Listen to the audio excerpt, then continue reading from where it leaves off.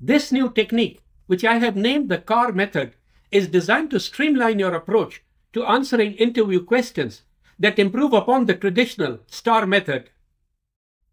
CAR stands for Context, Actions, and Results, condensing the four steps of STAR into three, making it easier to grasp and implement.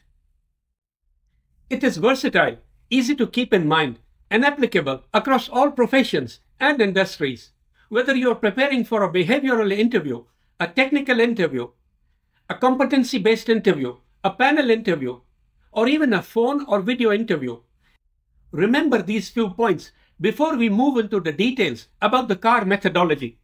First and foremost, it is always required that you try to understand the question and what lies behind it before you start answering.